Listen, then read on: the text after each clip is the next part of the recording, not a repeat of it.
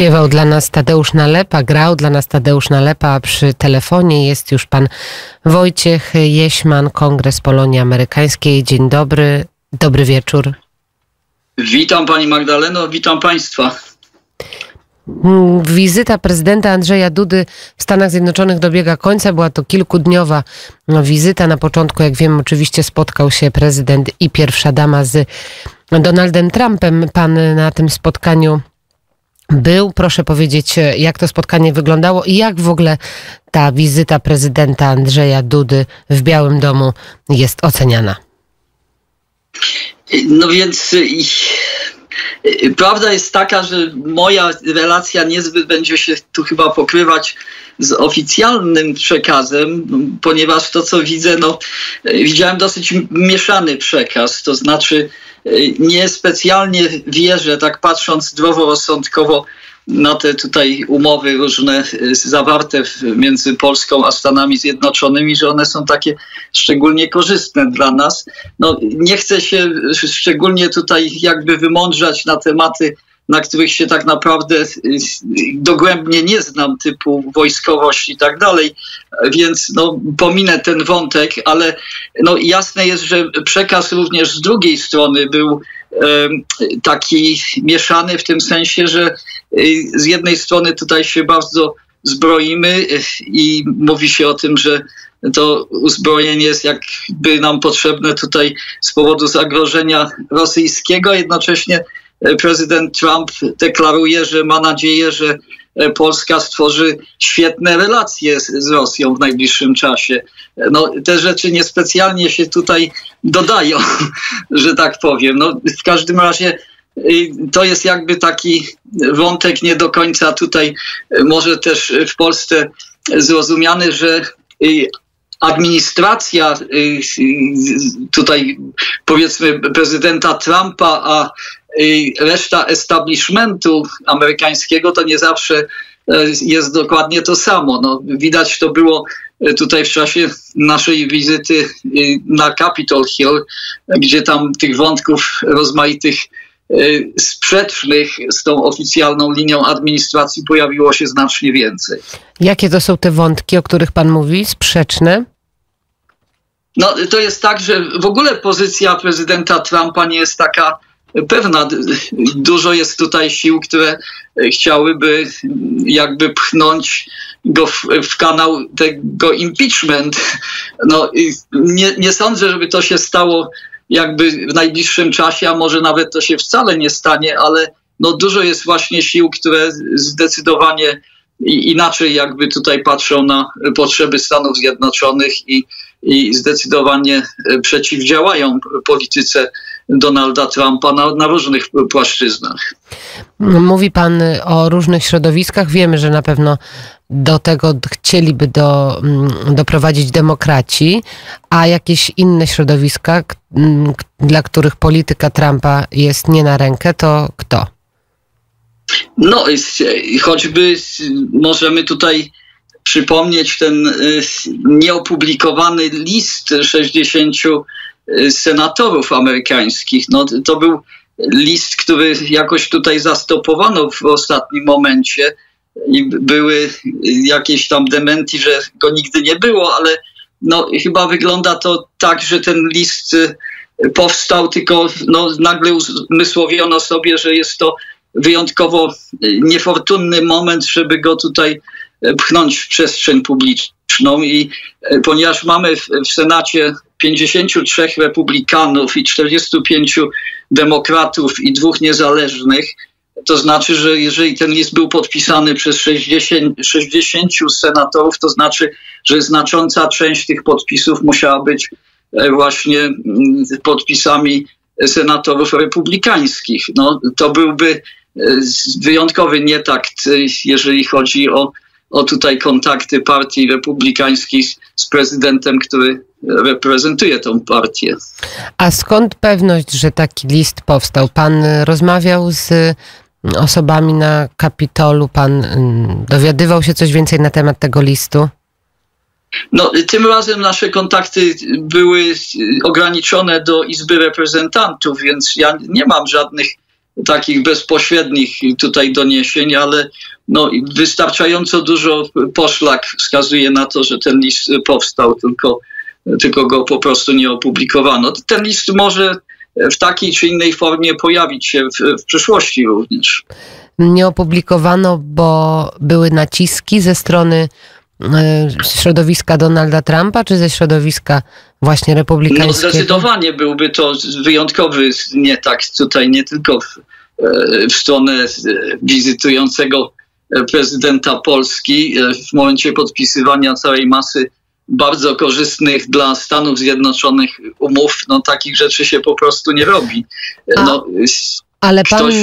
pan na spotkaniu z prezydentem Dudą i Donaldem Trumpem był. Z kim udało się panu porozmawiać? O czym pan mógł porozmawiać? Co udało się wyjaśnić?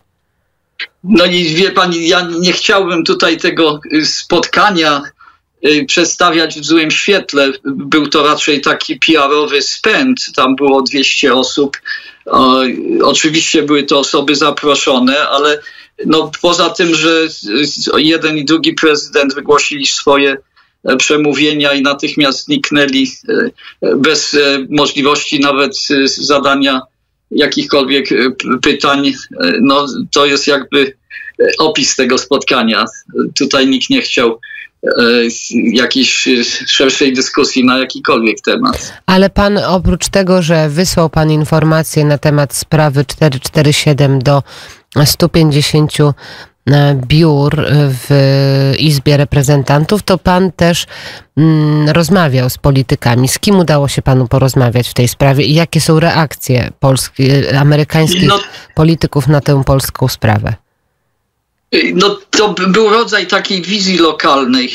Byłem w 150 biurach. No oczywiście nie miałem 150 rozmów. E, tych rozmów e, takich bardziej poważnych, powiedzmy od 15 do 45 minut miałem 9, ale e, no to były takie istotne jakby rozmowy w tym sensie, że umożliwiły mi jakby zmierzenie pulsu tutaj Izby Reprezentantów, przynajmniej na tym etapie. No, to jest oczywiste, że nie mamy tam wielu przyjaciół. Nawet zaryzykuję stwierdzenie, że prawdopodobnie w tym momencie nie mamy nawet jednego. W każdym razie no, jest to wina tutaj Polonii i polskiej dyplomacji, że się po prostu pewnych rzeczy tutaj nie robi. Nie ma żadnego efektywnego lobbingu naprawdę. Więc no, te moje kontakty y, ograniczyły się głównie do tych stanów, w których jest najwięcej Polaków, czyli Wisconsin, Michigan, e, Ohio. I co, um, mówią, i, i co mówią ci przedstawiciele, co mówią ci politycy o sprawie polskiej? No, powiem pani, że niewiele mówią, bo niewiele wiedzą i niewiele ich te sprawy interesują tak naprawdę. Więc y, no, to świadczy również o tym, że Polonia w tych Stanach jest Y, mocno niebyława i, i, i jasne jest, że no, musimy zrobić znacznie więcej, żeby e, tutaj Polonię wybudzić. Jasne jest, że w stanie Wisconsin, w którym jest y, praktycznie 10% e, osób e, polskiego pochodzenia, bo powinna być to no, istotna siła polityczna, a tak nie jest. A jak sama, jak sama wizyta prezydenta Andrzeja Dudy jest oceniana przez amerykańskie media, co pisze się o tym porozumieniu, które zostało mm, podpisane w związku ze zwiększoną obecnością wojsk amerykańskich w Polsce? No więc pisze się dosyć niewiele na ten temat. No, prawda jest taka, że Polska jest dosyć marginalnie tutaj traktowana. No, przyznam się, że ponieważ byłem dosyć zajęty na Capitol Hill, nie obserwowałem tych przekazów w tym momencie prasowych tak, tak bardzo dokładnie.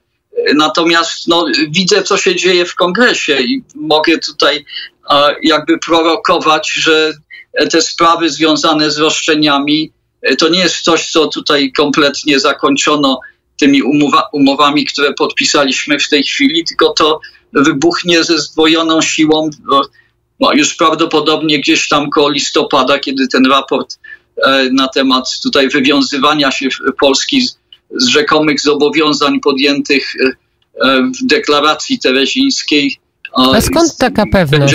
Skąd, y, skąd informacje na temat tego, że to wybuchnie, że to będzie dla nas niekorzystne? No, tak jak mówię, była to wizja lokalna. Widzę, jaki jest poziom zrozumienia tych rzeczy. Poziom jest dokładnie e, ża żaden z punktu widzenia naszych interesów. Nie ma tam naprawdę żadnej siły istotnej, która by oponowała, gdy powstaną głosy bardzo liczne, żeby stworzyć presję na Polskę. Ta presja powstanie. To, to widać zarówno po liście tych 60 e, senatorów, jak i liście 13 reprezentantów, który 10 czerwca został wysłany do prezydenta Trumpa. Tak, to przypomnijmy, że przed samą wizytą prezydenta Andrzeja Dudy list 13 reprezentantów trafił do Donalda Trumpa. Piszą oni o tym, że w Polsce łamana jest demokracja, że nie ma wolnej prasy, wolnych mediów, że mimo to, że stacjonowali polscy żołnierze w Iraku, Afganistanie, w Syrii czy, czy innych krajach sojuszniczych ze Stanami Zjednoczonymi, te standardy demokracji są w Polsce łamane.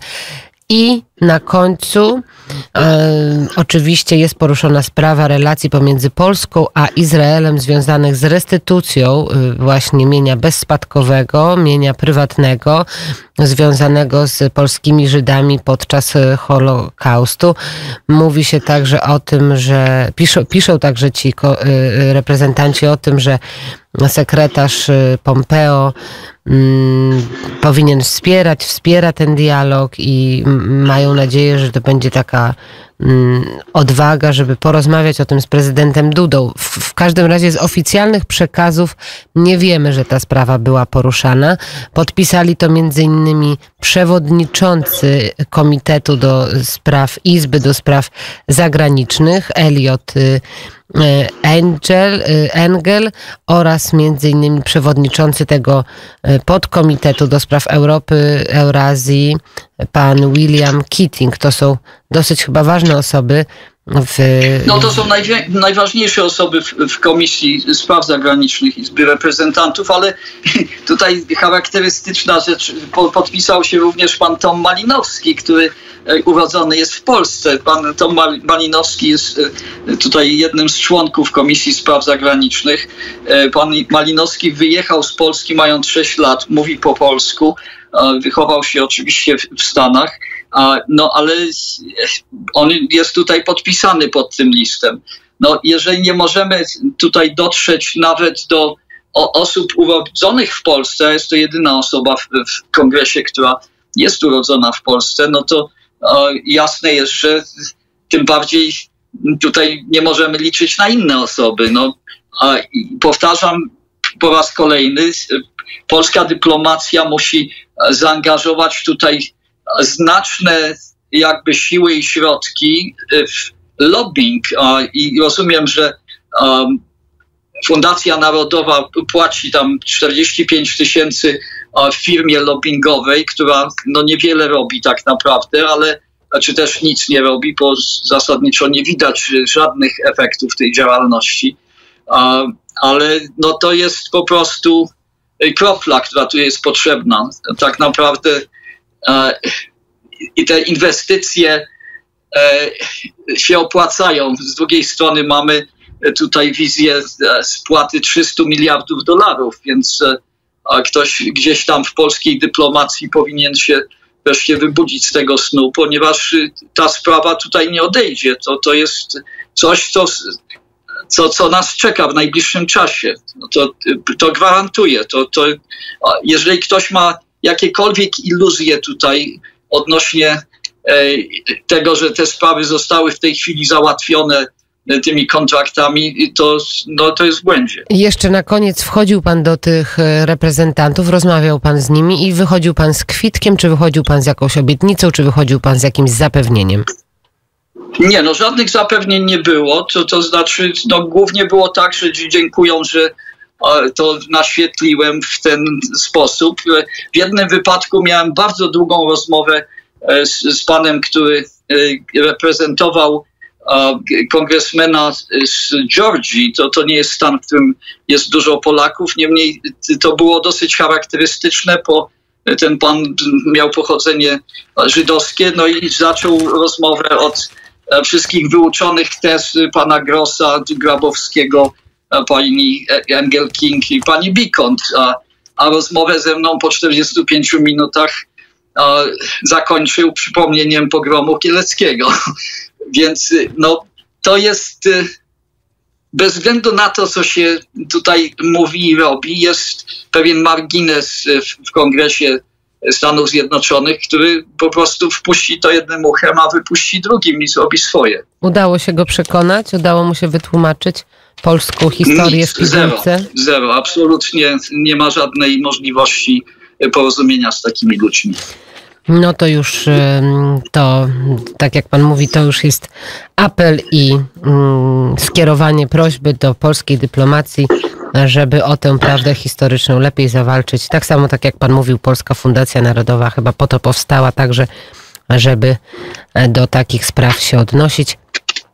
Bardzo dziękuję za rozmowę. Pan Wojciech Jeśman, Kongres Polonii Amerykańskiej.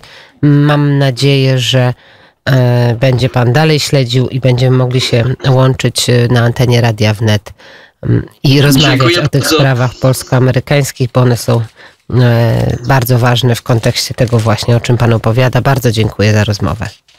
Do usłyszenia. I życzę do, i dobrych snów w takim razie życzę. Dziękuję. Godzina 7.35. Słuchają Państwo poranka wnet. Warszawa 87,8 FM, Kraków 95,2 FM. No a jak Stany Zjednoczone, no a jak Ameryka, to król jest tylko jeden.